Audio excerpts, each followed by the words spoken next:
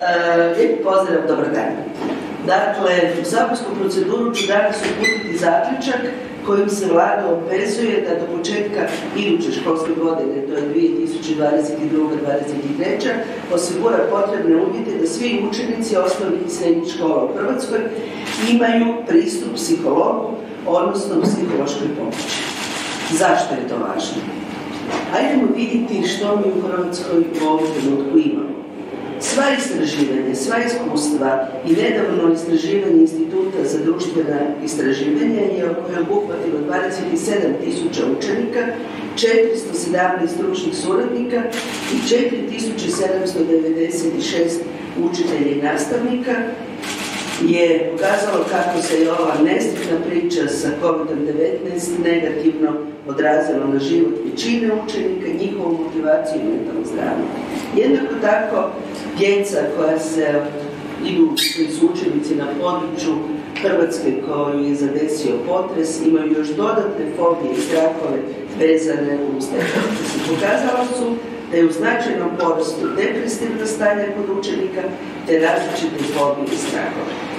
Danas, u ovom trenutku, nešto se mora učiniti da bi se rezultat vidio za pet ili deset godina. Ako neće se napraviti, ako će se sve pustiti bez rijeku kao što mi imamo običaj, za pet ili deset godina vidjet će se trajne posljedice na toj djeci.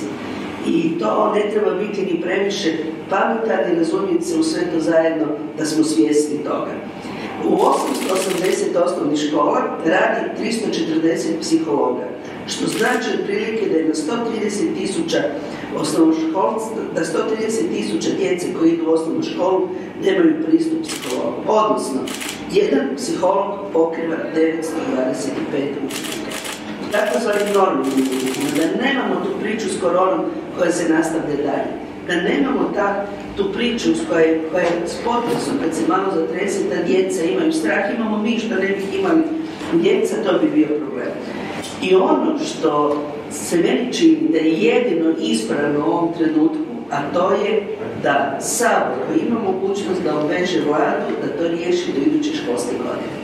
I zato idemo s ovim zaključkom i mi smo najbolji i ne očekujemo niti, da budem posve jasna, da svaka škola e, e, zaposli novog psihologa u iduću školsku godinu, ali očekujem da se taj problem riješi. Jedan psiholog može biti za više učenika, može biti za više škola. Ljudi moji, mi u ovom trenutku moramo biti svjesni posljedica koju korona i potres je ima na, na nas, na ljude koji smo već koji, koji zapravo smo već stvorili svoje neke okvire svog života, svog rada, svog djelovanja. Zamislite koju to posljedicu ima na djecu.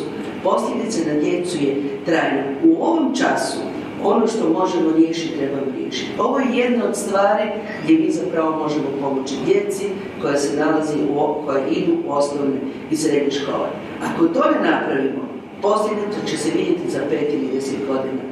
Apsolutno je poziv spriječiti tu posljedicu, to je nešto za što ne trebate izdvajati nekakva velika sredstva, nešto što treba biti dobra volja i tu se samo može otvoriti pitanje da li mi imamo dovoljno psihologa na tržištu, ali i to pitanje se može i treba riješiti. Hvala vam lijepo. Evo toliko od mene.